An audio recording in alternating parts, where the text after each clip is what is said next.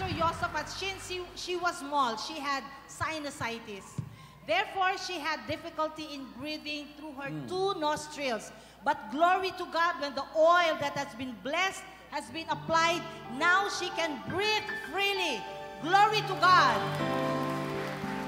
Okay.